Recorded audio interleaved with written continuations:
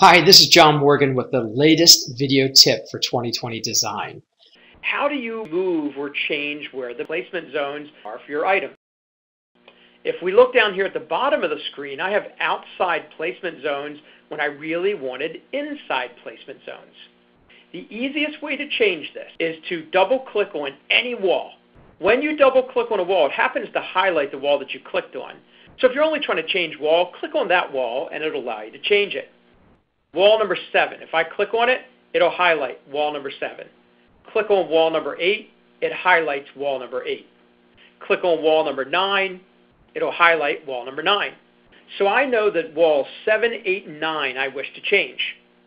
I change them all at the same time. I hold the control key down on my keyboard, I click, click, all three walls are now selected. If you click on type, you can go to the placement zone and turn off either the inside or the outside placement zone.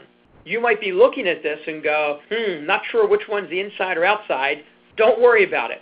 If you clicked on outside and the wrong dimension or the wrong boundary lines turned off like mine did, all you got to do is click on outside again. They come back, click on inside, and all of these boundary lines have now disappeared. For other great ideas, please join the 2020 community at www.2020spaces.com forward slash community.